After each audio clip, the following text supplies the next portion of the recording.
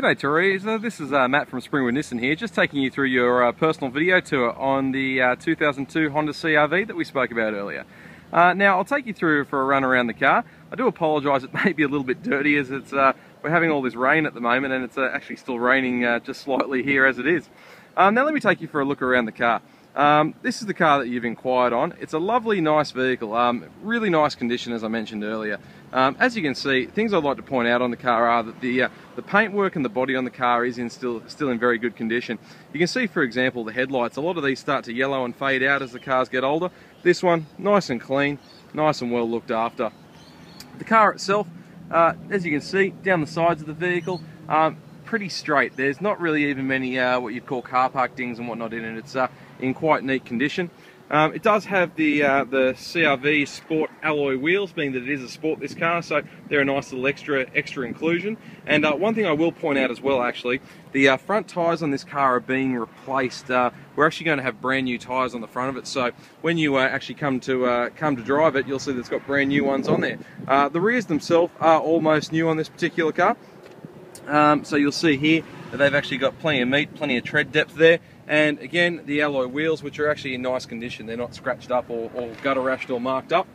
The actual car itself, as we walk around, you can see just as neat at the uh, at the back as what it is at the front. Um, you've obviously got your uh, CRV Sport badging there, and it's got the uh, the Honda Honda wheel cover. Um, while we're around here, I'll just open the boot up for you. So you can see that door opens outwards, and it's uh, held there on the uh, on the gas strut, which you'd probably be used to if uh, if you've had a CRV in the family before. As you can see in the back, plenty of room, and again, nice and clean, nice and tidy. Um, you know, across the top of the rear bumper bar is in quite good condition. Uh, no real scratching or marking from anything going in and out of the car. Same with the scuff panel at the back here, um, in really neat condition. And you can see in the boot itself, the trims, the seats, the carpets, all uh, all still really nicely presented. Uh, now I'll just close this up. And you may also be aware on the CRV that that, uh, that rear glass uh, does, pop and fold out as well.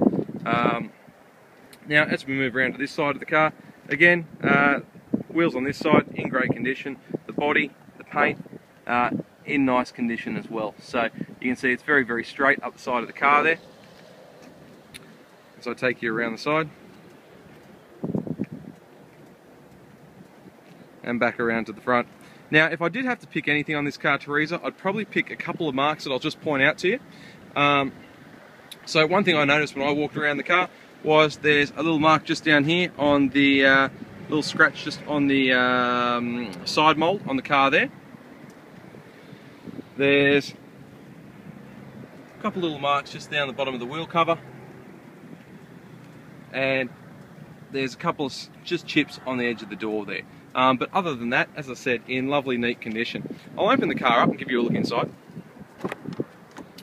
See, pardon the rain, uh, in the back of the car, very neat, uh, very well maintained, looked after. The seats are in lovely condition. All the trims, the doors in nice condition. Same with the carpets. You can see they're nice and clean and, uh, and unstained and unmarked. Same with the door in the back here. In the front of the car, you can see as well, driver's seat, very, very nice condition. This car has been well maintained and looked after for its for its age, that's for sure.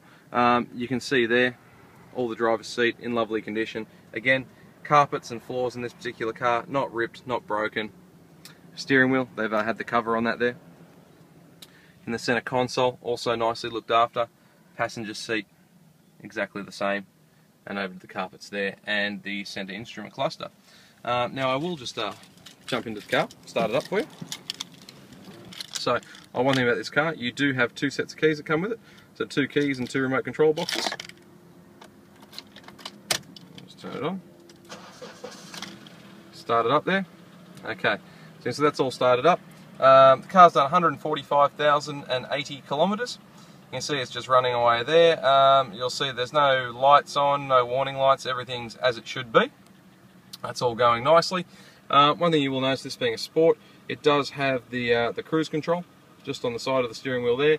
It does have your dual airbags in the vehicle, and it's also got a sunroof, which is a, uh, a nice, uh, nice little inclusion as well.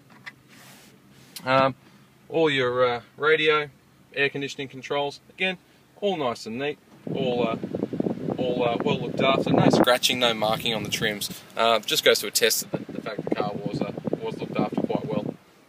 Uh, what I will do, I'll pop the bonnet for you, give you a look underneath.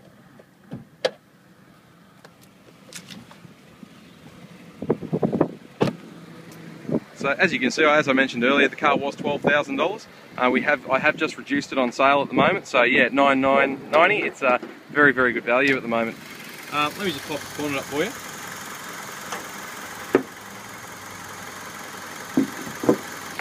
Okay, so as you can see, underneath, engine bay, all nice and clean, uh, well looked after. No grease and dirt and whatnot lying around, it's all, all very nice underneath there. And that engine's just ticking away nice and smoothly.